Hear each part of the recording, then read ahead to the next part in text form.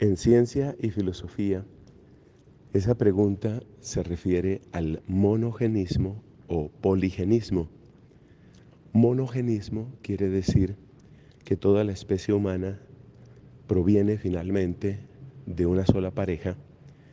Poligenismo quiere decir que la especie humana proviene de distintas parejas eh, en distintos lugares y probablemente en distintos tiempos. Antes de entrar a la parte bíblica, yo creo que es interesante analizar el aspecto científico. ¿Qué nos dice la ciencia sobre nosotros los humanos?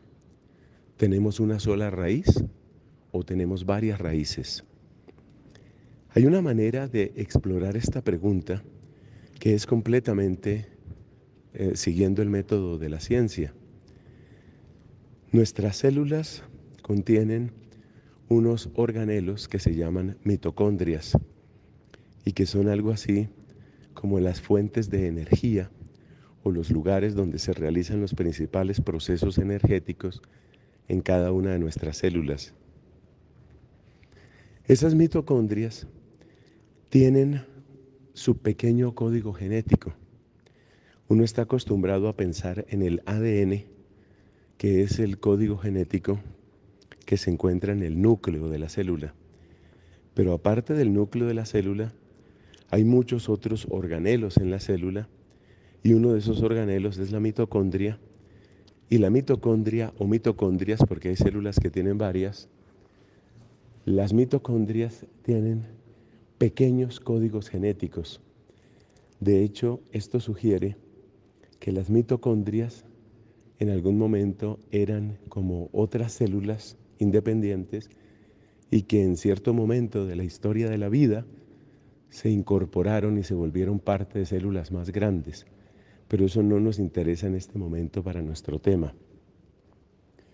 Entonces, estas mitocondrias tienen un pequeño código genético que obviamente se le llama el ADN mitocondrial, que es distinto, insisto, en el ADN que se encuentra en el núcleo de la célula. El ADN mitocondrial tiene una característica muy especial que lo hace diferente del otro ADN. El ADN del núcleo de la célula se forma, como sabemos, por la unión entre el ADN del varón y de la hembra, o del macho y de la hembra. Así, por ejemplo, un ternero recibe ADN del toro y de la vaca en su núcleo. Pero resulta que el ADN propio de las mitocondrias no se recibe, llamémoslo así, del papá y la mamá, sino únicamente de la mamá.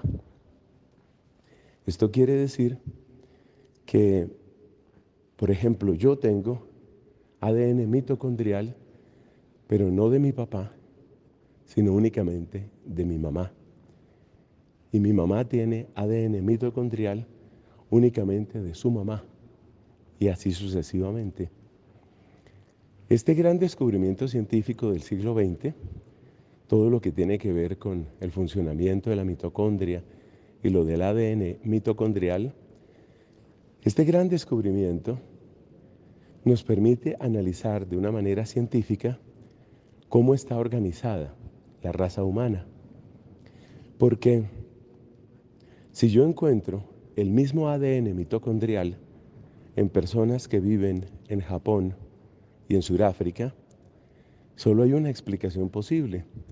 Y es que si nos remontamos atrás en el tiempo, quiere decir que hubo alguna mujer que fue antecedente o que fue antecesora tanto de ese japonés como de esa persona en Sudáfrica. Y lo sorprendente es que cuando se hacen estos análisis genéticos a gran escala, lo que se encuentra es que esencialmente el ADN mitocondrial es único en la especie humana. Es decir, que nosotros, seres humanos, parece, de acuerdo con la ciencia, que provenimos de una única mujer. Que a esa mujer la llamemos Eva o que la llamemos de otra manera, no es lo más importante, sino que esto parece respaldar la idea, desde la ciencia, de que nosotros venimos de una única mujer. Porque si hubiéramos venido como seres humanos de dos mujeres, hablando únicamente de dos, de dos mujeres que no tuvieran ninguna relación genética entre ellas, es decir, que no dependieran a su vez de otra mujer anterior a ambas, si nosotros viniéramos de dos mujeres genéticamente independientes en su ADN mitocondrial, pues entonces tendría que haber, en la especie humana, tendría que haber seres humanos con un ADN mitocondrial esencialmente diferente del de otro. Esta es la parte científica. Y esta parte científica nos invita a considerar en serio el monogenismo, es decir, que todos nosotros los seres humanos venimos efectivamente de una sola mujer. Si nosotros nos vamos al relato bíblico, pues lo que se cuenta es eso. Lo que se cuenta es que hay una sola mujer llamada Eva, que es llamada en la Biblia la madre de todos los vivientes. A la luz de esta evidencia científica, uno podría decir que eso no solamente es posible, sino que de hecho parece completamente cierto. Ahora bien, si nosotros nos preguntamos, ¿cómo puede salir toda la especie humana a partir de una sola pareja, teniendo en cuenta los problemas genéticos que se presentan cuando se dan uniones entre hermanos, hermanos y hermanas, quiero decir, y esto se ha registrado muchas veces, pues no tenemos una respuesta directa a esto. Desde el punto de vista científico, hay algunas explicaciones que podrían darse, porque en efecto no es forzoso que los descendientes de una misma familia, por ejemplo, hermanos, que los descendientes, si tienen una unión entre ellos, eh, necesariamente el fruto de esa unión, el bebé, por así decirlo, tenga problemas genéticos. Eso no es forzoso. Es probable. Es, ciertamente es probable, pero no es forzoso.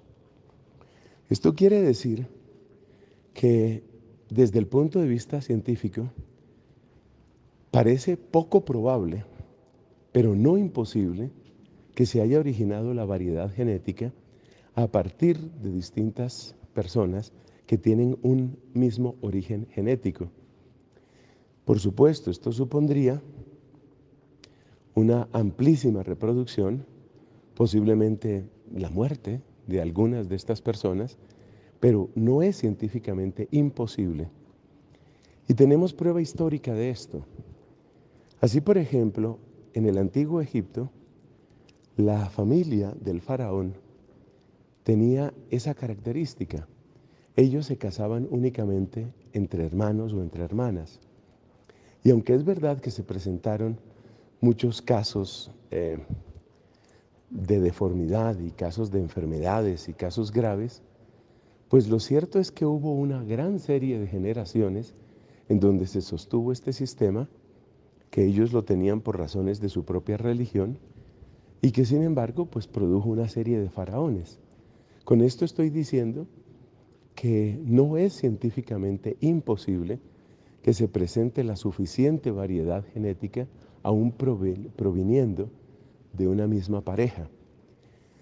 Desde el punto de vista moral y teológico, la explicación que siempre ha dado la Iglesia en el monogenismo es que las circunstancias extremas a veces reclaman medidas extremas. Y cuando se trata del origen mismo de la humanidad, pues la posibilidad de de crear humanidad según el plan de Dios, según lo que entendemos del plan de Dios, pues pasaba por esta práctica que hoy por supuesto nosotros la rechazamos y que hoy no consideramos de ninguna manera aceptable desde el punto de vista de la moral. Pero en aquellas circunstancias completamente únicas y completamente diferentes de las nuestras, pues podría ser moralmente aceptable. Doy un caso bien distinto. Comer carne humana es algo criminal. eh, en la inmensa mayoría de los países. Pero en circunstancias extremas, por ejemplo ese famoso accidente donde un avión cayó en las montañas entre Chile y Argentina, pues llegó un momento en el que no había otra manera de sobrevivir sino comiendo carne humana. Es una medida absolutamente extrema, pero esa medida extrema fue la que permitió que sobrevivieran algunos, dado el hecho de que otros habían ya muerto. Entonces, eh, ahí tenemos como los distintos ángulos de esto, el ángulo científico, el aspecto genético propiamente y el aspecto teológico y moral. En resumen, desde el punto de vista de la ciencia sí parece posible el monogenismo, eh, tiene grandes dificultades desde el punto de vista genético, pero sí es posible. Y desde el punto de vista teológico y moral, se, nos parece eh, ciertamente extraño, incluso repugnante hasta cierto punto, pero cuando miramos el conjunto del plan de Dios, pues entendemos las circunstancias únicas que se daban ahí y lo que Dios quería lograr finalmente, que pues es toda esta población humana de más de 8 mil millones de personas que existimos actualmente en el planeta Tierra. Muchas gracias por, esta pregunta y bendiciones para todos.